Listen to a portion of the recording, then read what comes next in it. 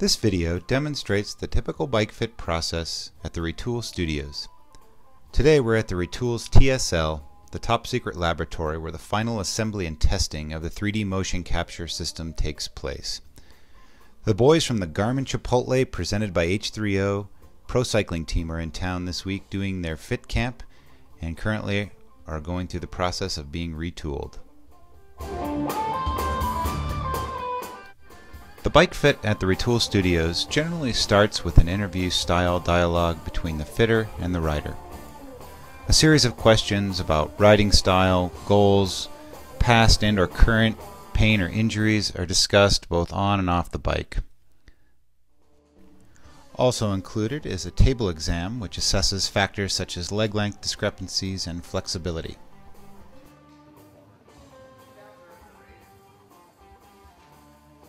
With the marker set actually on the rider and using a true 3D spatial model to see the rider's real-time biomechanical data, fitters using the Retul can see information about the rider's pedal stroke that they have never before been able to accurately quantify. Wow, he, he's still at 28 degrees at the bottom, Yeah. normal plantar flexion, pretty good at the top. He could, A little bit more. He or had come- come- four app too. One of the best things about the Retul Fitter Network is that we welcome open communication about different fit philosophies. And while application may differ from fitter to fitter, the robust amount of Retul 3D data provides a common foundation which is quickly becoming a standardized numerical language in which fitters can now effectively compare and contrast results. Since its launch in November 2007, Retul has empowered bike fitters with the gold standard of 3D cycling gait data acquisition technology, and the rave reviews have poured in from around the globe. However, for the few of us around the Boulder, Colorado based Retul headquarters, we have been extremely pumped to show you our next generation 3D motion capture software package. It is our pleasure to introduce Retul 2009.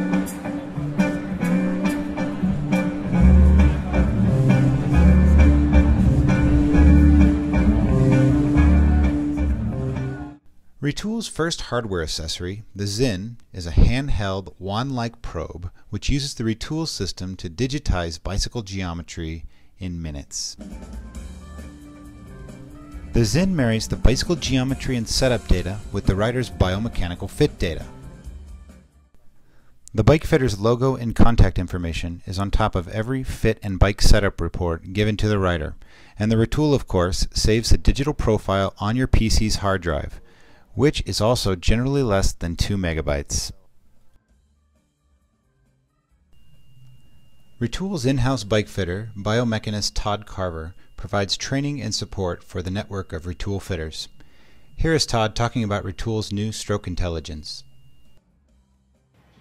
hey everybody, my name's Todd Carver. I'm here this morning at Retul Studios in Boulder, Colorado, talking about some of our new technological advances for 2009. Uh, we have a brand new report that we have just put out, and we also have some new processing techniques that I'm going to talk about real briefly before I talk about the new report. Um, our new technique for 2009 is called stroke intelligence. What this basically is is post processing, but it's post processing that you will not have to do as a user. Uh, so this all goes on in the background while the system's running. Um, stroke intelligence means that um, it will average events at certain points in the pedal stroke throughout the data capture period. So an example of this would be a knee angle. Uh, perhaps the knee angle flexion or knee angle extension. So the top of the pedal stroke or the bottom of the pedal stroke, that is an event. Now with stroke intelligence, that event is averaged throughout the data capture period. So if you capture your data for 15 seconds, the knee angles now represent an average of how many times that event occurs throughout the capture period. What it, what it does for the fitter is it gives you a more realistic idea of what is happening on the bike um, and what is happening on the road. Because we all know when riders ride on the road, they do change, change a lot as the workload and cadence changes, and that could change the angle measurements. So now that we're taking rolling averages of that, it gives you a more realistic uh, measurement. Okay, um, we also want to talk about some of the new measurements that we've put into the report for 2009. Uh, so we have some new um, sagittal plane measurements and some new frontal plane measurements.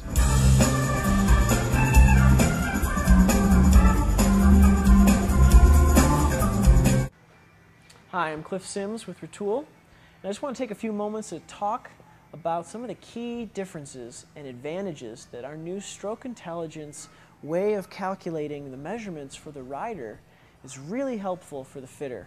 Let's look at an example of how stroke intelligence with just one measurement can really make a difference and how it's different than the other systems that are available. Take, take for example knee before foot. One of the things we offer is the system looks for when the rider's leg is coming down and the forwardmost point of the crank angle, forwardmost point of the pedal, and it compares that foot location to where the knee is and does a horizontal calculation measurement. But because we always know where the foot is, the system will actually find the point at which the crank angle is exactly horizontal. Now all systems have a certain refresh rate or a capture frequency. Uh, and the Retul is no exception. Just like a video camera, our system captures at a certain rate. Now there's a high chance that as you're capturing multiple times, now this is now we're talking in mic, you know in milliseconds here. We're not talking large amounts of time, but it is very possible that at the moment that we capture uh, the data point closest to when the pedal is at the three o'clock position, that we're capturing either just before or just after. Now what we want to do is we'll actually use the 3D data that we have to actually interpolate the exact point of which the pedal is completely horizontal because we can use the points before and the points after because we have all that 3D data at our disposal to actually capture that exact moment when the pedal is flat. This increases the accuracy of what we're doing. We can also then take that and, and perform that calculation every single pedal stroke so that what you're doing is you're actually taking the, the average of all the strokes during the recording and getting that power too because the rider will move subtly from stroke to stroke and you want to you want to include that in the actual total picture of what the rider is doing for any given measurement.